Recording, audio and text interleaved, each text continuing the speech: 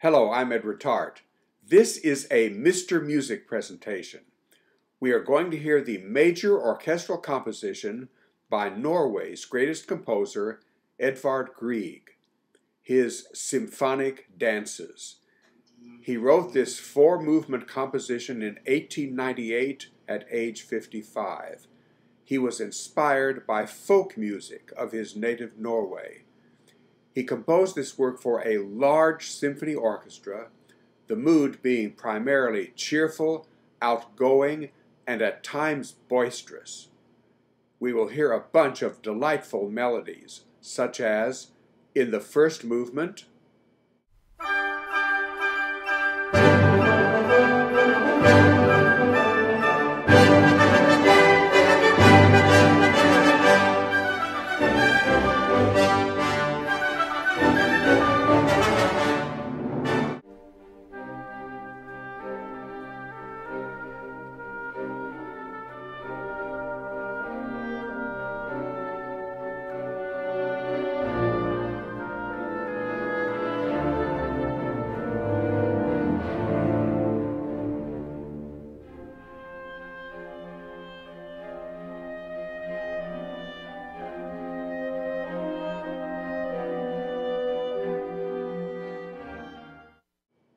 In the second movement,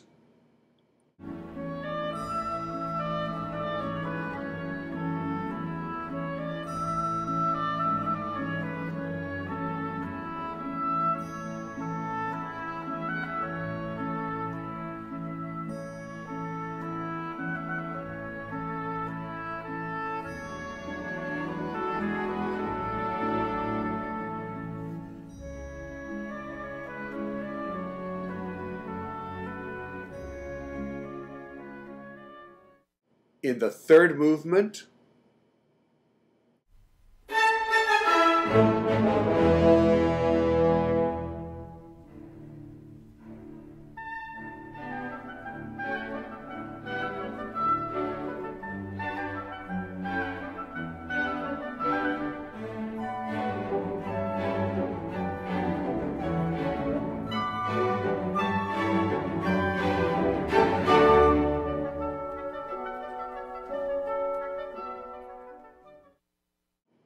the fourth movement.